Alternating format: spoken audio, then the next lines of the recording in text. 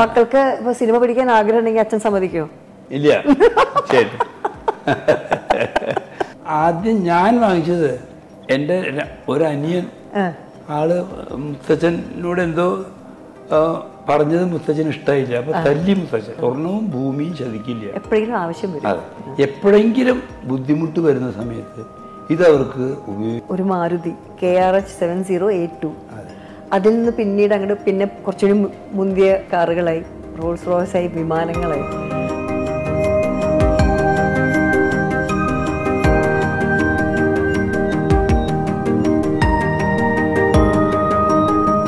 Sir നമ്മൾ വീണ്ടും കാണുന്നു.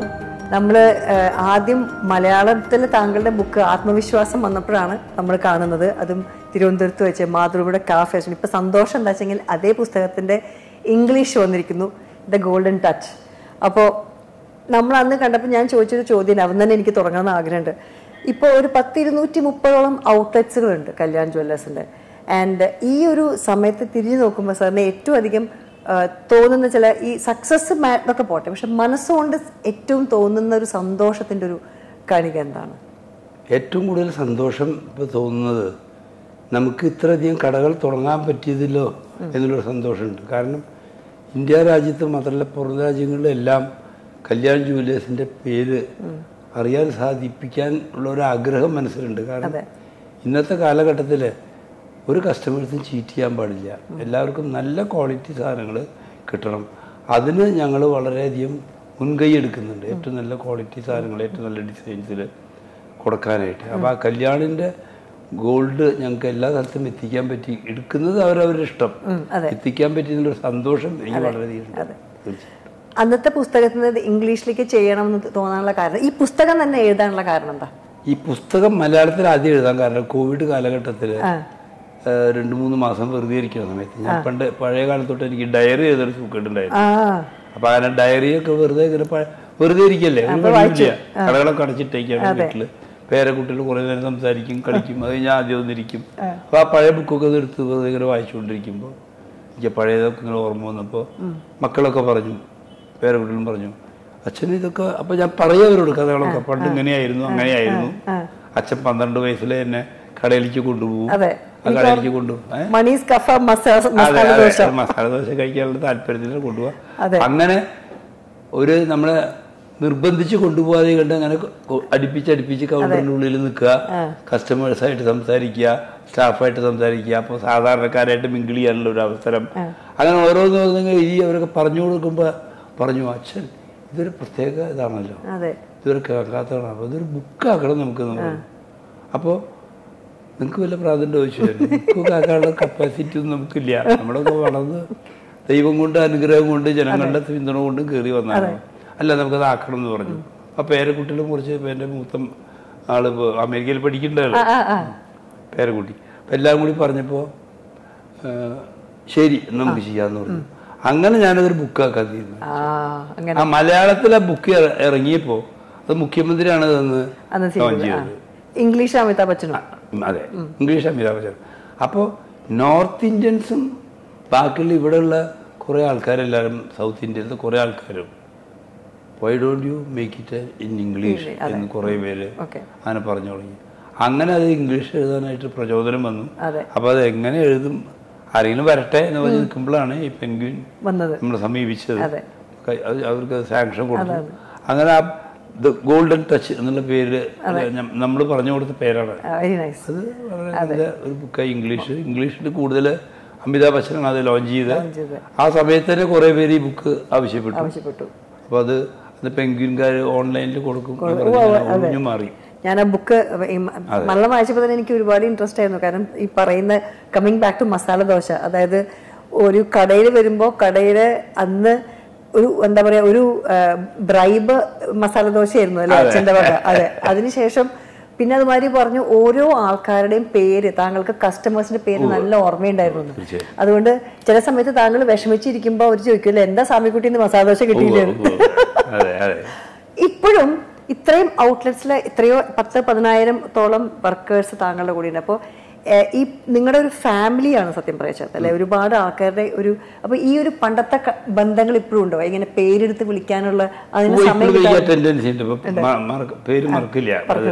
അത് അന്ന് പേര് വിളിക്കുമ്പോൾ കിട്ടുന്ന നമുക്ക് കിട്ടുന്ന സന്തോഷം അവർക്ക് കിട്ടുന്ന സന്തോഷം വേറെയാണ്. അതെ സത്യം. അപ്പോൾ അത് ഈ കസ്റ്റമേഴ്സ് ആയാലും സ്റ്റാഫ് ആയാലും അവരൊക്കെ പേര് വിളിക്കുമ്പോൾ അവരെല്ലാം സാമിക്കുട്ടി നന്ന് വിളിച്ചായിരുന്നു ചെറുപ്പം അപ്പോൾ ആ സമയത്ത് പേര് എന്നെ വിളിക്കുമ്പോൾ ഞാൻ അവരുടെ പേരൊക്കെ ചോദിച്ച് മനസ്സിലാക്കി എവിടെയാണ് വീട് എന്നൊക്കെ ചോദിച്ച് മനസ്സിലാക്കുമ്പോൾ അവർക്കൊരു സന്തോഷമുണ്ട്. അതിന്റെ ഒരു ഗുണം കിട്ടിയത് തൊണ്ണൂറ്റി മൂന്നിൽ ഈ കസ്റ്റമേഴ്സാണ് എപ്പോഴും പറയാ. അതെ. ഏപ്രിൽ എട്ടിന് അല്ലേ തുടങ്ങിയത്? ഏപ്രിൽ എട്ടാം തീയതി. ത്രീ അതെ. അപ്പോൾ അതാണ് അന്ന് പക്ഷെ എല്ലാവരും താങ്കളോട് ചെയ്തോളാൻ പറഞ്ഞു. പക്ഷെ പിന്നെ ഈ വലിയൊരു ഷോറൂം മറ്റേ പാർമേക്കാവ് അമ്പലത്തിന്റെ അടുത്ത് എത്തുമ്പോൾ അന്ന് പറഞ്ഞു അത് ചെയ്യേണ്ട കുറെ പേര് അത് പറയണ്ടേ? അപ്പൊ അവരുടെ പ്രചോദനത്തിൽ തുടങ്ങി. അന്ന് അവർ പറഞ്ഞു ഒരുമിച്ച് സ്വർണക്കടയിൽ കൂടി തുടങ്ങിയാൽ ഞങ്ങൾക്ക് വിശ്വാസമായിട്ട് തുണിയും തുറന്നെടുത്തൂടെ എന്നുള്ള ചോദ്യചിഹ്നം വന്നപ്പോൾ അന്നൊക്കെ ഞാൻ അത് തള്ളിക്കളഞ്ഞു നമുക്ക് താല്പര്യം സ്വർണം എവിടെ സ്വർണ കച്ചവടത്തിലേക്ക് വന്ന് ഇൻട്രസ്റ്റ് പോയില്ല എന്നല്ല എങ്ങനെ ചെയ്യുന്നുള്ള ബോധ്യമായിരുന്നു പിന്നെ ഡൈവേഴ്സിഫിക്കേഷൻ വേണം തോന്നിയപ്പോൾ നയന്റി ത്രീയിൽ തുടങ്ങി. തുടങ്ങുമ്പോൾ നമ്മൾ എപ്പോഴും ഒരു പുതുമ അന്ന് തൊട്ട് തന്നെ കാണുന്നൊരു താല്പര്യമുണ്ട്. എല്ലാവരും ചെയ്യണമാതിരി നമ്മൾ ചെയ്തിട്ട് കാര്യമില്ല. അപ്പം ഞാൻ കേരളത്തിൽ മിക്ക വലിയ വലിയ ബ്രാൻഡഡ് ഷോറൂംസും തമിഴ്നാട് മറ്റേ ചെന്നൈയിലൊക്കെ പോയിട്ട് കംപ്ലീറ്റ് റൗണ്ടൊക്കെ അടിച്ച് വന്നപ്പോൾ എല്ലാം ചെറിയ ചെറിയ കടകളാണ് നാനൂറ് അഞ്ഞൂറ് അറുന്നൂറ് സ്ക്വയർ ഫീറ്റ് ചെറിയ കടകൾ അപ്പോൾ കല്യാണ പാർട്ടിയാണ് അന്ന് സ്വർണത്തിന് കൂടുതൽ താല്പര്യം കാണിക്കുക. അവർ വരും കുറച്ച് അവർക്ക് കാണിച്ചു കൊടുക്കും അത് ഓർഡർ എടുക്കും. ഒന്നര മാസം രണ്ട് മാസം കഴിഞ്ഞിട്ടാണ് സപ്ലൈ ചെയ്യുക. അപ്പൊ എനിക്ക് നമ്മുടെ ഈ സാരിയൊക്കെ കല്യാണത്തിന് കയ്യോടെ കാണിച്ചു കൊടുത്ത് അവർക്ക് കൊടുക്കുന്ന മാതിരി എന്തുകൊണ്ട് നമുക്ക് സ്വർണാഭരണങ്ങൾ കൊടുത്തുകൂടാ? ഓക്കെ. അപ്പൊ അത് ഇങ്ങനെ ചിന്തിച്ചു. എല്ലാവരും ഡിസ്കസ് ചെയ്തു. നല്ല കാര്യമാണെന്ന് പറഞ്ഞു. പക്ഷെ സ്ഥല സൗകര്യം വേണം. ആ. അപ്പോൾ അങ്ങനെ അന്വേഷിച്ച് നടന്നപ്പോഴാണ് തൃശ്ശൂരിൽ തന്നെ തുടങ്ങണമെന്ന് ഒരു താല്പര്യം അന്ന് അച്ഛനുണ്ട്. അതെ. ഹോം ടൗൺ ആണ്. തൃശ്ശൂർ വിട്ട് പോണ്ട. പോണ്ട. നമുക്ക് ഇവിടെ നിന്നാണ് നമ്മുടെ വളർച്ച. അങ്ങനെ ഇങ്ങനെ റൗണ്ട് അടിച്ച് നോക്കിയപ്പോൾ ഒരു സ്ഥലം കിട്ടണ്ടേ? അതാണ് പാർമേക്കാവ് അമ്പലത്തിൽ സൈഡിലുള്ള സ്ഥലം. തൊട്ടടുത്ത് നമുക്കൊരു സ്ഥലം. ദേവിയായിട്ട് നമുക്ക് കൊണ്ടു തന്ന മാതിരിയാ സത്യം അപ്പൊ എന്നെ പഠിപ്പിച്ച മാത്തമാറ്റിക്സ് മോഡൽ സ്കൂളിൽ പഠിപ്പിച്ച മാഷാണ് അന്ന് അവിടുത്തെ പ്രസിഡന്റ് പക്ഷെ മാഷോട് പറഞ്ഞു ആവശ്യപ്പെട്ടു പറഞ്ഞു. അന്ന് അവിടെ ഹോട്ടലായിരുന്നു ത്രിവേണി ഹോട്ടൽ. അതെ. അവരത് പൂട്ടി. അവർ അവർ പാർട്ട്നേഴ്സ് തമ്മിലുള്ള അഭിപ്രായ വ്യത്യാസം കാരണം അത് പൂട്ടിയിട്ടേക്കായിരുന്നു അപ്പൊ മാഷ് പറഞ്ഞു കൊട്ടേഷൻ കല്യാണ കൊട്ടേഷൻ ഇപ്പൊ വെക്കുന്നുണ്ട് നിങ്ങൾ വെച്ചോളൂ നിങ്ങൾ കൃത്യസമയത്തിന് എത്തിയെന്ന് പറഞ്ഞു. അപ്പോൾ കൊട്ടേഷൻ വെച്ചു. എത്രയ്ക്കാ വെക്കുക? അപ്പോൾ മാഷക്കും അറിയില്ല ആർക്കും അറിയില്ലല്ലോ. ഞാൻ ദേവിയുടെ മുമ്പിൽ ഇത് പ്രാർത്ഥിച്ചിട്ട് പറഞ്ഞു. ഞാൻ ഒരു കൊട്ടേഷൻ വെക്കുന്നുണ്ട്. ഞങ്ങൾക്കിത് പാസ്സാക്കി തരണം. അതിന് എന്റെ ഒരു ആഗ്രഹമാണ് ദേവിയുടെ സന്നിധാനത്ത് ഒരു കട തുടങ്ങണം ജുവലറി തുടങ്ങണം. ആദ്യമായിട്ടാണ് ഈ രംഗത്ത് ഇറങ്ങണത്. തുണിക്കടച്ചവടാണ് ഞങ്ങൾക്കെന്ന് പറഞ്ഞു. അങ്ങനെ പത്ത് ലക്ഷത്തി നൂറ് രൂപ. അന്നത്തെ. നൂറ് നൂറ്റി പതിനൊന്ന് രൂപ. പത്ത് ലക്ഷത്തി നൂറ്റി പതിനൊന്ന് രൂപ അന്ന് ഒരു കൊട്ടേഷൻ വെച്ചു. നമ്മുടെ ഭാഗ്യം എന്ന് എന്താ പറയാ? ദേവിയുടെ അനുഗ്രഹം ശ്രീരാമന്റെ അനുഗ്രഹം. ശ്രീരാമൻ വിളിച്ച് പറഞ്ഞിട്ടുണ്ടാവും. പത്ത് ലക്ഷത്തിൽ ഒരാൾ കൊട്ടേഷൻ വെച്ചിട്ടുണ്ടായിരുന്നു. ഈ നൂറ്റി പതിനൊന്നിലൂടെ ഡിഫറൻസിൽ നമുക്ക് ആ കൊട്ടേഷൻ ദൈവമേ. ഇതൊരു ഭാഗ്യം തന്നെയാണ്. അതെ. ദൈവവലി ദൈവവിളി തന്നെയല്ലേ. ഞാനൊക്കെ വളർന്ന സമയത്ത് ചെറുപാട്ടിലൊക്കെ കേൾക്കുന്ന കുറെ സ്വർണത്തിന്റെ പേരുകളുണ്ട്.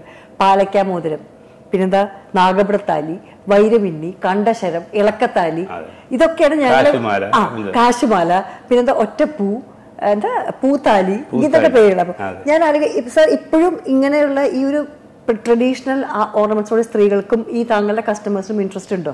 ഇപ്പോൾ യങ്സ്റ്റേഴ്സ് അധികം ഉപയോഗിക്കുന്നില്ല. പക്ഷെ ഞങ്ങളുടെ കടയിൽ ഈ ട്രഡീഷണൽ ഓർണമെന്റ്സ് ഉണ്ട് ഇപ്പോഴും ഈ പരമ്പരാഗതമായിട്ടുള്ള ഡിസൈൻസിന് മുൻതൂക്കം കൊടുത്തുകൊണ്ട് തന്നെ ഞങ്ങൾ മോഡേൺ ടൈപ്പ് ഡിസൈൻ വെക്കുന്നുണ്ട്. പക്ഷെ അതുകൊണ്ട് ഇത് കാണുമ്പോൾ ഈ കൂടെ വരുന്ന അമ്മ അല്ലെങ്കിൽ അച്ഛൻ മുത്തശ്ശി ആരെങ്കിലും ഉണ്ടെങ്കിൽ അവർ ഇത് പറഞ്ഞ് എടുത്തോളൂ. ഒരു ഐശ്വര്യമാണെന്ന് പറഞ്ഞിട്ട് ചിലപ്പോ പാലയ്ക്ക അല്ലെങ്കിൽ നാഗപടം പൂത്താലി ഏതെങ്കിലും ഒന്ന് എടുപ്പിക്കുക അവരെ കൊണ്ട്. അമ്മയാണോ അച്ഛനാണോ പറഞ്ഞ ഭൂമിയും സ്വർണവും ചതിക്കില്ല അത്. ശരിയാണ്. അപ്പൊ സത്യം പറഞ്ഞാൽ ആദ്യം ഓർമ്മയുണ്ടോ? വെച്ചിട്ടുണ്ടെങ്കിൽ എപ്പോഴായിരുന്നു ഈ സ്വർണത്തിനോടൊരു ഓക്കെ ബിസിനസ് തുടങ്ങണം നോക്കി. പക്ഷെ ആദ്യമായിട്ട് സ്വർണം കാണുമ്പോൾ അതിനോടൊരു ഇൻട്രസ്റ്റ് തോന്നുന്നത് എപ്പോഴും ഓർമ്മയുണ്ടോ? എന്റെ അമ്മയ്ക്ക് സ്വർണത്തിനോട് ഭയങ്കര ഒരു ഭ്രമണ്ടായി അമ്മ സ്വർണാഭരണങ്ങൾ വലിയ താല്പര്യമുള്ള ആളായിരുന്നു ഈ ഇത്രയും കാലഘട്ടത്തിൽ ഈ ഒരു ട്രെൻഡുകൾ ചേഞ്ച് ചെയ്ത് വന്നിട്ടോ സാർ കാരണം അന്ന് സാർ തുടങ്ങിയ സമയത്ത് സാർ ഉണ്ടായിരുന്ന ഒരു ബിസിനസ് ഒരു സെൻസും അതിൽ നിന്ന് മാറി ചിന്തിക്കാനായിട്ട് പറ്റ വേണ്ടി വന്നിട്ടുണ്ട്. ഇപ്പോൾ ജനറേഷൻ മാറി. ഇപ്പൊ പറയുന്ന മാതിരി ഇളക്കത്താലി അവർ നനുത്ത തത്ത മ- മ- ഇതാണ് എല്ലാവരും ഇടുന്നത് അപ്പൊ അങ്ങനെയുണ്ടോ? ചേഞ്ച് ചെയ്തിട്ടുണ്ടോ സാറിന്റെ ചിന്താഗതിയിൽ ഇൻ ഓ ബിസിനസ് ചിന്താഗതി ഇപ്പൊ കംപ്ലീറ്റ് ഇപ്പോൾ ഞാൻ പറയുന്നത് നേരത്തെ നേരത്തെ പറഞ്ഞ മാതിരി ഇപ്പോഴത്തെ ടീനേജേഴ്സ് അവർക്കൊക്കെ മോഡേൺ ടൈപ്പ് ഡിസൈൻസിനാണ് താല്പര്യം കൂടുതൽ. അവർക്ക് ഡിസൈൻസ് ഇതൊക്കെ പഴയ ഒരേ പാറ്റേൺ അല്ലേ? അപ്പൊ അത് ഇട്ടത് രണ്ടാം ഇട്ട് കാണാൻ അവർക്ക് താല്പര്യം കുറഞ്ഞു. അവർക്ക് ഈ മോഡേൺ ഡിസൈൻസിനോട് ഭയങ്കര ഒരു താല്പര്യം വന്നിട്ടുണ്ട്. അപ്പൊ കൂടുതലും ഈ മോഡേൺ ഡിസൈൻസിൽ പുതിയ പുതിയ ഡിസൈൻസ് വരും. ഇങ്ങനെ വരും. ഞാൻ ഇപ്പോൾ ഒരു എക്സിബിഷൻ ഉദ്ഘാടനം ചെയ്യാൻ പോയി. അറ്റ്ലക്സിൽ അവിടെ ഇതേമാതിരി പത്ത് മുന്നൂറ് സ്റ്റോളുണ്ട് അതൊക്കെ ഈ മോഡേൺ ഡിസൈൻസിലാണ് ആൾക്കാർ കൂടുതലും നോക്കിക്കൊണ്ടിരിക്കുന്നത് റീറ്റെയിലേഴ്സ്. അപ്പൊ ഈ പല ഇപ്പൊ പത്തിരുന്നൂറ്റമ്പത് ഔട്ട്ലെറ്റ്സ് പല നാടുകളിലുള്ളപ്പോൾ അവരുടെ ഈ കൾച്ചറൽ എങ്ങനെയാണ്? കാരണം അവർക്ക് അവരുടെ ചില ഇപ്പം മഹാരാഷ്ട്രീയൻസിനാണെങ്കിലും അല്ലെങ്കിൽ ഗുജറാത്തിലാണെങ്കിലും ഡിഫറെന്റ് ടൈപ്പ് ഓഫ് ഡിസൈൻസ് ആയിരിക്കും. അപ്പൊ അത് എങ്ങനെയാണ് അത് ഉൾക്കൊള്ളാറ്? കാരണം കല്യാണ ടച്ചും വേണം എന്നാൽ അവരുടെ കൾച്ചർ തൊടുകയും വേണം. അതെ അതെ. എല്ലാ നീ പറഞ്ഞത് ശരിയാണ്. എല്ലാ സ്റ്റേറ്റിലും ഡിഫറെന്റ് ഡിസൈൻസാണ് ആണ്. ഒരേ സ്റ്റേറ്റിൽ തന്നെ ഡിസ്ട്രിക്റ്റിൽ തന്നെ ഡിഫറൻസ് ഉണ്ടാവും. ഓക്കെ. അപ്പൊ ഞങ്ങൾ ആദ്യം തന്നെ ഞങ്ങളുടെ സ്റ്റാഫിനെ വിട്ടിട്ട് അവിടെ സ്റ്റഡി ചെയ്യിപ്പിക്കും നന്നായിട്ട്. ഒരു രണ്ട് മാസം മുമ്പ് തന്നെ പോയി സ്റ്റഡി ചെയ്തിട്ട് ഏത് ഡിസൈനിനോടോ താല്പര്യം നോക്കിയിട്ട് അതിൽ നിന്നൊക്കെ ഓരോ സെറ്റ് വാങ്ങിച്ചു കൊണ്ടുവരാൻ പറയും. എന്നിട്ട് ഞാനും എന്റെ രണ്ട് മക്കളും ഞങ്ങൾ മൂന്ന് പേരും കൂടി ഇരുന്നിട്ട് അത് നോക്കി അതെ. അതിൽ ഏറ്റവും നല്ല ഞങ്ങൾ ഏതാ കൂടുതൽ പോകണമെന്നൊക്കെ മനസ്സിലാക്കി അത് അവരോട് അവിടെ ഡിസ്പ്ലേ ചെയ്ത് അതാണ് ഓരോ സ്ഥലത്തും ഇന്ന സ്ഥലത്ത് കട തുടങ്ങിയാൽ അത് നന്നായിരിക്കും എന്നൊരു സാറിന് ഒരു ഇന്റ്യൂഷൻ ഉണ്ടെന്ന് പറയാറുണ്ട്. ആ ഞാൻ പുസ്തകത്തിൽ വായിച്ചത്. ദൈവത്തിന്റെ ഒരു അനുഗ്രഹം എന്ന് പറയില്ലേ? കാരണം മക്കൾ പറയും അവിടെ വരുന്ന സാറും വേണ്ട. വേറെ ഈ സ്ഥലത്ത് എസ്പെഷ്യലി തിരുവനന്തപുരത്ത് താങ്കൾ കൊല്ലത്ത് പോയിട്ട് ആദ്യം ഷോറൂം തുടങ്ങിയപ്പോൾ അതെങ്ങനെയാ സർ ഒരു ഉൾവിളി? ഇത് ഇത് ശരിയാവുന്ന എങ്ങനെയാ തോന്നുന്നത്? എനിക്ക് തന്നെ അറിയില്ല അത്. കുട്ടികളും പറയും അച്ഛൻ തുടങ്ങണ്ടെന്ന് പറഞ്ഞാൽ വേണ്ടെന്ന് പറയും ഉടനെ. എത്ര ആൾക്കാർക്ക് കാശില്ലെങ്കിലും സ്വർണക്കടയിൽ ആളുണ്ടെന്ന് പറയും തൃശ്ശൂരിൽ. അല്ലേ? പച്ചക്കറി മേടിക്കാൻ ആളില്ലെങ്കിലും സ്വർണക്കടയിൽ ആളുണ്ട്. അപ്പോൾ അപ്പൊ ഈ കോമ്പറ്റീഷൻ ഉണ്ടല്ലോ. ഇപ്പൊ കല്യാൺ എന്ന് പറയുന്ന ഒരു ബ്രാൻഡിന്റെ ഒപ്പം നിൽക്കുന്ന മറ്റ് ജ്വല്ലറി അല്ലെങ്കിൽ മറ്റുള്ള ബ്രാൻഡ്സിന്റെ കോമ്പറ്റീഷൻ സാർ എങ്ങനെ നോക്കിക്കാണുന്നത് കോമ്പറ്റീഷൻ ഈ പറഞ്ഞ പോലെ ഹെൽത്തി കോമ്പറ്റീഷനും ഉണ്ട് അൺഹെൽത്തി കോമ്പറ്റീഷനും ഉണ്ട്. അൺഹെൽത്തി കോമ്പറ്റീഷനാണ് കൂടുതൽ അത് നമുക്ക് നിർത്താൻ സാധിക്കില്ല. ഞങ്ങൾ തൊണ്ണൂറ്റി മൂന്നിൽ കട തുടങ്ങുമ്പോൾ തന്നെ ഉള്ളതാണ്. അപ്പോൾ അത് ക്വാളിറ്റി എന്താണ് സ്വർണത്തിന്റെ ക്വാളിറ്റി എന്ന് അന്ന് കാണിക്കാനായിട്ട് ഒരു മാർഗം ഉണ്ടായിരുന്നില്ല. ആ. ആ സമയത്താണ് എനിക്ക് എന്റെ മുത്തച്ഛൻ പറയുന്ന അത് എപ്പോഴും ഓർമ്മ വരിക. അപ്പം അച്ഛനും അത് എപ്പോഴും എടുത്ത് പറയും. ഒരു കസ്റ്റമേഴ്സിന് നമ്മൾ ചീറ്റ് ചെയ്യാൻ പാടില്ല. ഏറ്റവും നല്ല ക്വാളിറ്റി സാധനങ്ങൾ അവർക്ക് കൊടുക്കണം. പത്ത് രൂപയ്ക്ക് ഒരാൾ എടുക്കുകയാണെങ്കിൽ ആ പത്ത് രൂപയുടെ മൂല്യം അവർക്ക് അർഹതപ്പെട്ടതാണ്. അത് അവകാശമാണ് അവരുടെ അതെ നമ്മൾ കൊടുത്തിരിക്കും നമുക്ക് സ്വർഗ അന്ന് മുത്തച്ഛൻ പറയും സ്വർഗത്തിലേക്ക് മൂല്യം അപ്പോൾ അത് അപ്പോൾ നമ്മൾ അങ്ങനെ പഠിച്ച് പഠിച്ച് ഇങ്ങോട്ട് പോന്നു. അപ്പോൾ അങ്ങനെ വരുമ്പോൾ അതിനിപ്പോൾ എന്തായാലും മാർഗം കണ്ടപ്പോഴാണ് ഞങ്ങൾ ഈ ക്വാളിറ്റി ടെസ്റ്റിങ്ങിന് സെപ്പറേറ്റ് ഒരു വിഭാഗമൊക്കെ വെച്ചിട്ട് കണ്ടുപിടിച്ച് P I S dynamics quality B എസിന്റെ ഒരു ബ്യൂറോ ഓഫ് ഇന്ത്യൻ സ്റ്റാൻഡേർഡിന്റെ മുദ്ര വെച്ച് കൊടുക്കുക എന്നുള്ളതാണ്. പക്ഷെ അപ്പോഴും ജനങ്ങൾക്ക് വിശ്വാസം വരണ്ടേ? സീൽ സീൽ വെച്ച് കൊടുത്ത് കൊടുക്കുന്നതല്ലേ പറയുന്നത് അതെ. അപ്പൊ ഞങ്ങൾ ഈ ക്യാരറ്റ് അനലൈസർ എന്നൊരു മെഷീൻ അവിടെ കണക്ട് ചെയ്തു അപ്പൊ അതിൽ ഏത് ഓർണമെന്റ് വെച്ച് നോക്കിയാലും അതിന്റെ ക്വാളിറ്റി അറിയാൻ പറ്റും. അങ്ങനെ ജനങ്ങൾക്ക് ഒരു വിശ്വാസം നമ്മുടെ കിട്ടി. അതെ. അതപ്പോ അത് ഭയങ്കര പ്രചാരണമായപ്പോ അത് ഞങ്ങൾ ഞങ്ങളെ പറഞ്ഞ് പഠിപ്പിച്ചു. ഞങ്ങളുടെ അവിടെ നിന്ന് ഗോൾഡ് എടുക്കണമെന്നില്ല. ഇത് നോക്കിയെടുക്കുക. അപ്പൊ അത് എല്ലാവരും കുറേശ്ശെ അതിലേക്ക് കടന്നപ്പോ ഞങ്ങൾ ഈ എം ആർ പി പ്രൈസ് മുദ്രവെച്ചു അപ്പൊ അതെന്ന് വെച്ചാൽ ഓരോന്നിന്റെ വില. ഗോൾഡിന്റെ പ്രൈസ് സെപ്പറേറ്റ് അതിന്റെ മേക്കിംഗ് ചാർജ് എത്ര എന്നുള്ള പെർസെന്റേജ് ഞങ്ങൾ ബാർകോഡ് ചെയ്ത് ചെയ്തു. അപ്പൊ അവർക്ക് വന്ന് നോക്കിയാൽ അറിയാൻ പറ്റും. അല്ലെങ്കിൽ വേറെ കടയിൽ പോയി കമ്പയർ ചെയ്ത് അറിയാൻ പറ്റും. അങ്ങനെ ജനങ്ങളെ വിശ്വസിപ്പിക്കുന്ന രീതിയിൽ ഞങ്ങൾക്ക് എല്ലാം ചെയ്യാൻ പറ്റിയത് കൊണ്ട് ഇത്രയും നേട്ടം ബിസിനസ്സിൽ കിട്ടി വിശ്വാസം അതിലെ എല്ലാം എന്ന് പറഞ്ഞ മാതിരി അങ്ങനെയാണ് അത് ഉണ്ടായത്.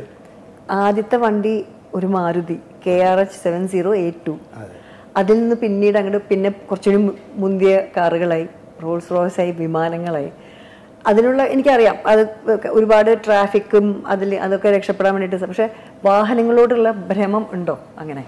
എനിക്ക് വാസ്തവത്തിൽ അങ്ങനെ ഭ്രമമൊന്നുമില്ല. ഞാൻ മാരുതി ആദ്യം ഉപയോഗിക്കാൻ കാരണം അന്നത്തെ കപ്പാസിറ്റി നോക്കണ്ടേ? വെറുതെ പൈസ മുഴുവനും നമ്മൾ ഈ കാറിലും വീടിലും കളിച്ചു കഴിഞ്ഞാൽ നമ്മൾ ചിലപ്പോൾ വെള്ളത്തിലാവും. ബിസിനസ് കേറില്ല. അപ്പോൾ ഒരു കാറ് വേണം വേണം. അതെ. മാരുതി ഉപയോഗിച്ചു. അന്ന് എനിക്ക് ഒരു വലിയൊരു ആക്സിഡന്റ് ഉണ്ടായിരുന്നു ത്രീയിലാണ് കാറ്. മാരുതി വാങ്ങിച്ചു. അന്ന് ഞാൻ തന്നെ ഓടിക്കുക. ഒരു മേജർ ആക്സിഡന്റ് ഉണ്ടായി. ഈ പറഞ്ഞ മാതിരി ശ്രീരാമന്റെ അനുഗ്രഹം കൊണ്ട് ഞാൻ രക്ഷപ്പെട്ടു. അപ്പൊ ഞാൻ കാറ് കുറച്ചുകൂടി നല്ല സേഫ്റ്റി കാറിലേക്ക് കിടക്കണം എന്ന് പറഞ്ഞിട്ടാണ് ഈ ബെൻസിലേക്ക് കിടന്നത്. കുറച്ചുകൂടി സേഫ്റ്റി ആണ് അതിന്റെ ഈ ഫീച്ചേഴ്സ് ഒക്കെ. അതെ. അപ്പൊ അങ്ങനെ കിടന്നു. പിന്നെ ഓരോ സേഫ്റ്റി കൂടുന്ന കാറുകൾ വരുമ്പോൾ അതിലേക്ക് മാറുന്നത് മാത്രമേ ഉള്ളൂ.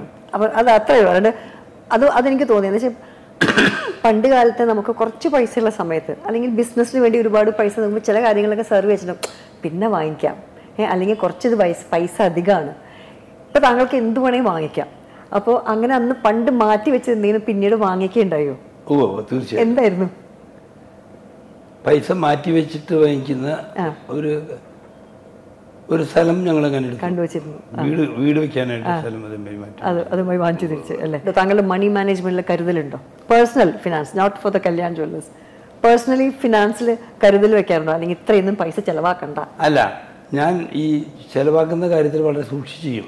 അതും ഈ മുത്തച്ഛനും അച്ഛനും പറഞ്ഞതാണ് പത്ത് ഒരു നമുക്ക് ഒരു നൂറ് രൂപ വരുമാനം ഉണ്ടെന്നുണ്ടെങ്കിൽ അതിൽ ചുരുങ്ങിയത് ഒരു മുപ്പത് രൂപയെങ്കിലും നമ്മൾ മാറ്റി വെക്കും മാറ്റി വെക്കണം ബാക്കി എഴുപത് രൂപയെ മാത്രമേ നമ്മൾ ചെലവാക്കാൻ പാടുള്ളൂ.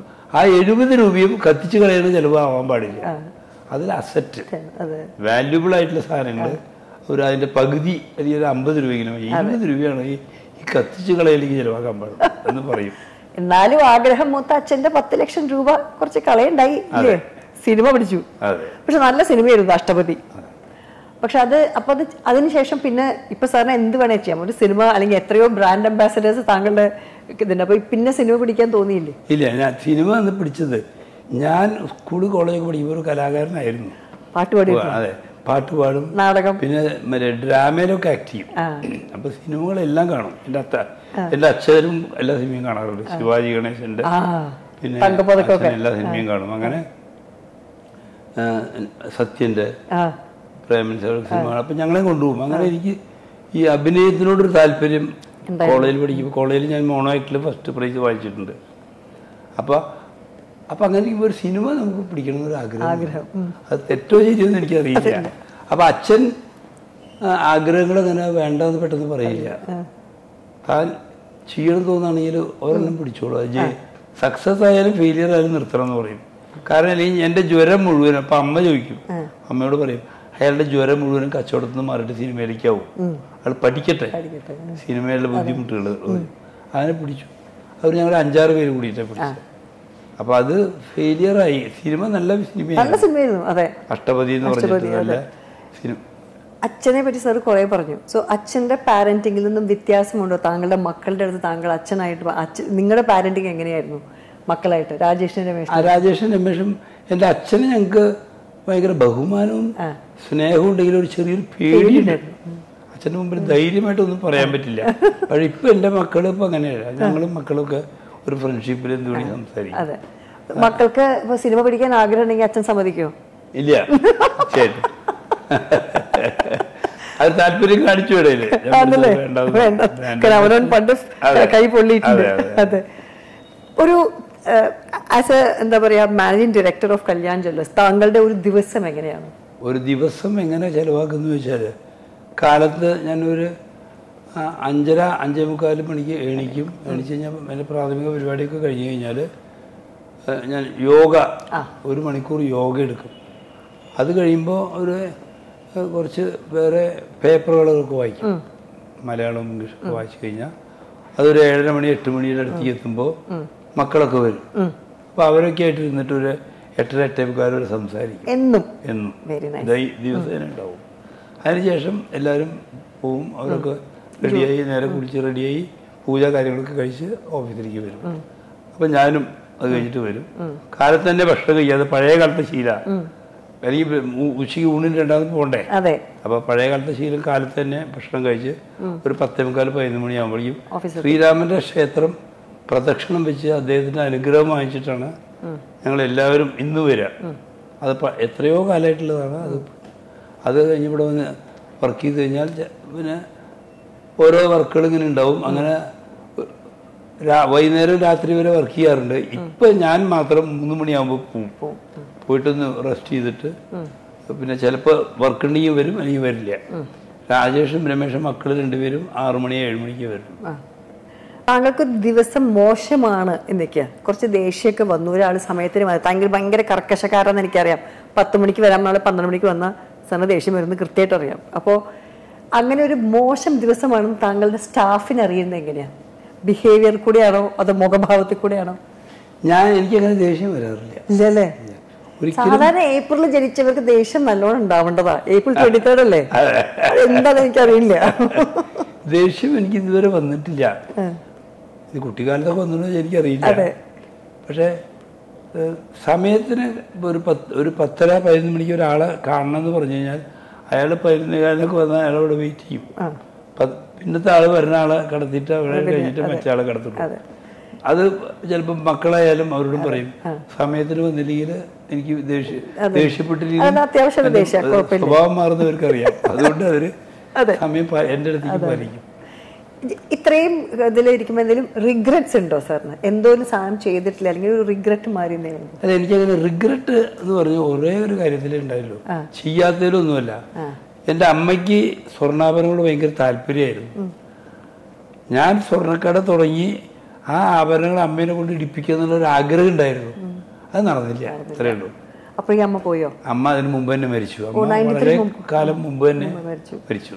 പക്ഷെ അത് സ്വർണം അത് ആ സന്തോഷം ഉണ്ടാവും. എവിടെയെങ്കിലും കാണണ്ടാവും അത് കണ്ടിട്ട് ഞങ്ങൾ എപ്പോഴും പറയും ഇന്നും പറയും എന്റെ ബ്രദേഴ്സ് സിസ്റ്റേഴ്സും ഒക്കെ പറയും. മക്കളൊന്നും നീ കണ്ടിട്ടില്ല ചെറിയ കുട്ടികൾ ഓ അമ്മ ഉണ്ടെങ്കിൽ എത്ര സന്തോഷിച്ചിട്ടുണ്ടാവും. ഓരോ കടയിലേക്ക് പോകുമ്പോൾ അവിടെ ഇവിടെ പോയി നടക്കില്ലേ എന്ന് ചോദിക്കും. അതെ. അതൊരു ഒരു റിഗ്രറ്റ് എന്ന് പറഞ്ഞാൽ എനിക്ക് ആയ കൂടിയിട്ടുള്ള എന്റെ നഷ്ടം അതായിരുന്നു അച്ഛനുണ്ടായിരുന്നു. അച്ഛന് സ്വർണത്തിനോട് നമ്മൾ മോഹം ഉണ്ടാവില്ല? അന്നത്തെ ആണുങ്ങളും സ്വർണം ഇടില്ല. ചെയിൻ ഇടും.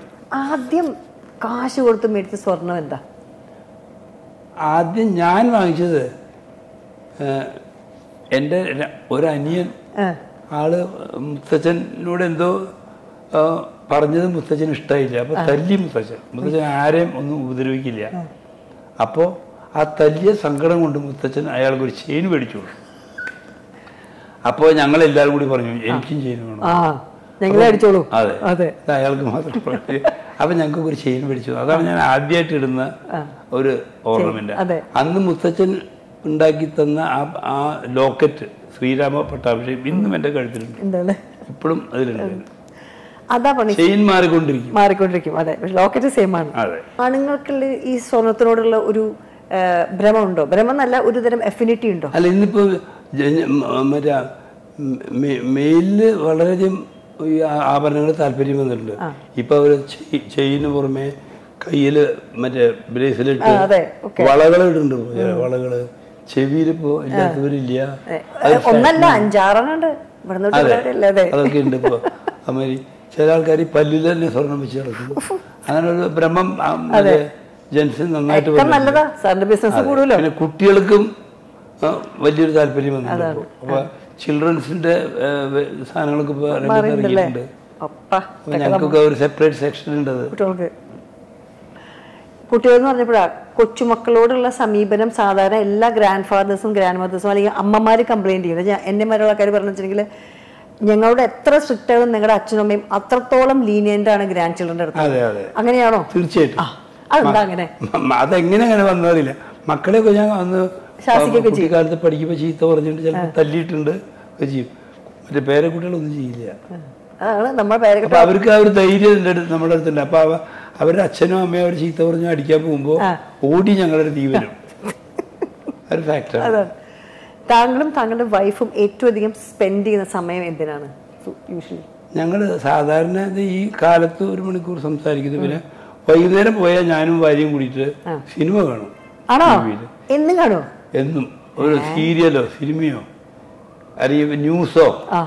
ചിലപ്പോൾ ന്യൂസ്. ഏറ്റവും ടഫസ്റ്റ് ഡിസിഷൻ എടുത്തിരുന്നത് എന്താ ഈ ലൈഫിൽ ടഫസ്റ്റ് ഡിസിഷൻ എടുത്തത് തൊണ്ണൂറ്റി മൂന്നിൽ കട തുടങ്ങിയപ്പോൾ അത് പത്ത് മാസത്തിനുള്ള സെയിൽ ടാക്സിന്റെ ഒരു റെയ്ഡ് വന്നു. ഓക്കെ. അപ്പോൾ അന്ന് ഡിസിഷൻ എടുക്കാനായിട്ട് വളരെയധികം ബുദ്ധിമുട്ടി. പക്ഷെ ആ ഡിസിഷൻ ഈ പറഞ്ഞ ശ്രീരാമന്റെ അമ്പലത്തിന് മുമ്പിൽ പ്രാർത്ഥിക്കും. എനിക്ക് എന്താ ചെയ്യേണ്ടതെന്ന് അറിയില്ല. കുറേ പേരെ ഡിസ്കസ് ചെയ്യും ബ്രദേഴ്സൊക്കെ ആയിട്ട് ഡിസ്കസ് ചെയ്യും. ആർക്ക് പകരുത് കാരണം അവർ അവർ എല്ലാം പിടിച്ചോണ്ട് പോയി. എന്തൊക്കെ പേപ്പർ ഉണ്ടോ ഉണ്ടോന്നൊക്കെ പക്ഷെ അതിലൊക്കെ എന്തൊക്കെ അവർ കിട്ടിയിട്ടുണ്ടെന്ന് നമുക്ക് അറിയില്ലല്ലോ. അപ്പൊ എന്റെ കോമ്പറ്റേറ്റേഴ്സ് ഒക്കെ പറയും സ്വാമി കട പൂട്ടി പോകും. രക്ഷപ്പെടില്ല അപ്പൊ അന്നും ഈ എല്ലാം അക്കൗണ്ട് കൂടിയാണ് ചെയ്യാറ്. കാര്യമായിട്ട് അന്നെ കൊണ്ടുവരില്ല. ശ്രീരാമനോട് ഇങ്ങനെ പ്രാർത്ഥിച്ചു. നേരെ ഓഫീസിൽ കാണാൻ പോകും. എന്താ എന്താണെന്നറിയില്ല ഓഫീസിൽ നമ്മൾ കാണുമ്പോൾ ഒരു സിമ്പതി തോന്നുന്നുണ്ടായിരിക്കാം. വേറെ പ്രശ്നമൊന്നും ഉണ്ടാക്കാണ്ട് അവരത് അവസാനിപ്പിച്ച് തരും. അത് കഴിഞ്ഞിട്ട് അതൊരു വലിയൊരു ചാലഞ്ചായിരുന്നു ആയിരുന്നു. ഒരു മാസം കഴിയുമ്പോൾ ഇൻകം ടാക്സും അതാ. അത് കഥ എഴുതിയിട്ടുണ്ട്. ആ. ഇൻകം ടാക്സിലും അവർ വല്ലാണ്ട് ബുദ്ധിമുട്ടിക്കാൻ കുറേ പണിയെടുത്തു. പക്ഷെ ഞങ്ങൾ സ്ട്രേറ്റ് ഫോർവേഡായിട്ട് നിന്നു. Relationship with Amitabh Bachchan and all other actors Amitabh Bachchan താങ്കളുടെ വീട്ടിൽ വന്ന് താമസിച്ച കഥകൾ പുസ്തകത്തിൽ എഴുതിയിട്ടുണ്ട്. അപ്പോൾ അദ്ദേഹം അങ്ങനെ ഒരു വേറൊരു വീട്ടിൽ പോയി താമസിക്കുന്നത് ഞാൻ വളരെ റെയർ ആയിട്ട് കേട്ടിട്ടുള്ളൂ. അപ്പോൾ താങ്കളുടെ കൂടെ ഇരിക്കുമ്പോഴുള്ള നിമിഷങ്ങൾ എന്ത് എങ്ങനെയൊക്കെയാ അദ്ദേഹം എന്തൊക്കെയാ സംസാരിക്കാറ്? അല്ല അദ്ദേഹം സാധാരണ ഈ പറഞ്ഞത് ശരിയാണ്. അപ്പോൾ അങ്ങനെ ഒരു വീടുകളിൽ പോയി താമസിക്കാത്ത ആളാണ്. ഇവിടെ വന്ന ഇവിടെ താമസിക്കാൻ ആൾക്ക് താല്പര്യമാണ് അപ്പം അദ്ദേഹം ഇവിടെ വന്നു കഴിഞ്ഞാൽ അദ്ദേഹം രാത്രി പതുക്കെ കിടക്കുള്ളൂ. അപ്പം അദ്ദേഹം മറ്റേ അദ്ദേഹത്തിന്റെ പാട്ടുകൾ കവിത അതൊക്കെ റെക്കോർഡ് ചെയ്തിട്ടുണ്ടാവും. അതൊക്കെ ഞങ്ങൾ ചില സിനിമകളുടെ സീൻസ് അതൊക്കെ ഇരുന്ന് നമ്മൾ കേൾപ്പിക്കും. സർക്കാരും കൂലിയൊക്കെ സാറെ അതെ അതൊക്കെ ഇരുന്ന് കേൾപ്പിക്കും ഇങ്ങനെ. അപ്പൊ അത് കേട്ട് അദ്ദേഹം അതിലൊരു വികാരപരിചനാവും അപ്പൊ ഞങ്ങൾക്ക് ഭയങ്കര ഇൻട്രസ്റ്റ് ആവും കാണാൻ.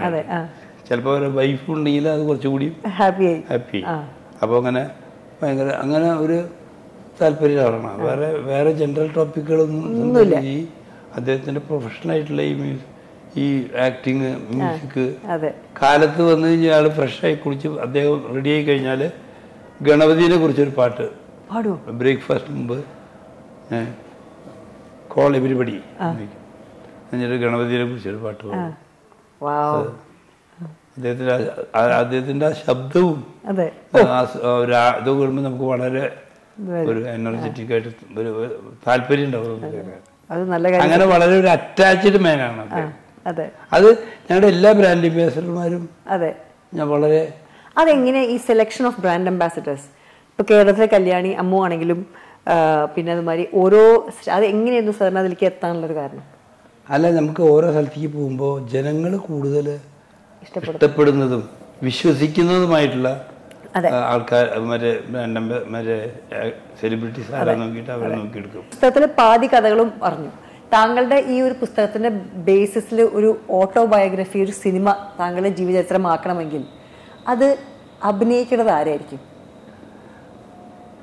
ഓട്ടോഗ്രാഫി സിനിമയാക്കേണ്ട ആവശ്യമൊന്നുമില്ല എന്ന് എനിക്ക് തോന്നുന്നത് ഇനിയിപ്പോ ആവശ്യം ഒരാൾ വന്നു നിൽക്കുക അതിപ്പോൾ അതിപ്പോ ഞാൻ എന്റെ മനസ്സിൽ ആദ്യം അമിതാഭ് ബച്ചനാണല്ലോ വരിക. വിചാരിച്ചു ബച്ചൻ സാറേ പറയുന്നു പിന്നെ അദ്ദേഹം ഓരോ പേജും എടുത്തെടുത്ത് വായിച്ചിട്ടുണ്ട്. ഞാൻ ആ ഫോർവേഡ് വായിച്ചപ്പോൾ എനിക്ക് മനസ്സിലായി. ഇംഗ്ലീഷത്തെ മലയാളത്തിൽ ഞാൻ വായിച്ചിട്ടുണ്ടായിരുന്നു. ലാസ്റ്റ് ഒരു ചോദ്യം ചോദിച്ചോട്ടെ? ഏതെങ്കിലും ഒരു മനുഷ്യന് സാറിന് ജീവിതത്തിൽ ഈ സ്വർണം ഇട്ടിട്ട് അലർജി വന്നിക്കണേ അതായത് സ്വർണം ഇട്ടാൽ ദേഹത്ത് റാഷസും അലർജിയും വരുന്ന ആരെങ്കിലും സാറ് കണ്ടിട്ടുണ്ടോ? ഞാൻ ഇതുവരെ കണ്ടിട്ടില്ല. എന്നാ കണ്ടോളൂ. രേഖാ മേനോൻ ഞാനാണ്. അലർജി ഉണ്ടായിട്ടുണ്ട്. എനിക്ക് ഞാൻ എന്നിട്ട് എവിടെ എന്റെ അമ്മ പറഞ്ഞു ഇപ്പോഴോട്. കല്യാണ സ്വാമി ഇന്റർവ്യൂ നിനക്ക് ഗോൾഡ് ഇടാൻ പോലും പറ്റില്ല. അപ്പൊ എല്ലാരും പറഞ്ഞു എനിക്ക് ലോ മെയിന്റനൻസ് ആണെന്ന്. കാരണം എനിക്ക് ഗോൾഡ് ആവശ്യമില്ല അത് പക്ഷെ എനിക്ക് ഇഷ്ടമാണ് അത് കാണാൻ. പക്ഷെ അത് ഇട്ട് കഴിഞ്ഞാൽ അലർജി ആകെ കല്യാണ മോതിരം മാത്രമേ ഉള്ളൂ സാർ. ധൈര്യമായിട്ട് കല്യാണ ജുവല്ലേഴ്സിന്റെ ഓർമ്മ ഏറ്റിരിക്കും എന്തായാലും സാർ സമയം തന്നെങ്കിൽ വളരെ താങ്ക് യു ഇനിയും ഒരുപാട് പുസ്തകങ്ങൾ എന്താ പറയുക എഴുതാനും എനിക്ക് സാറിനെ വന്ന് മീറ്റ് ചെയ്യാനുള്ള ഒരു ഭാഗ്യം ഉണ്ടാവട്ടെ. Thank you sir thank you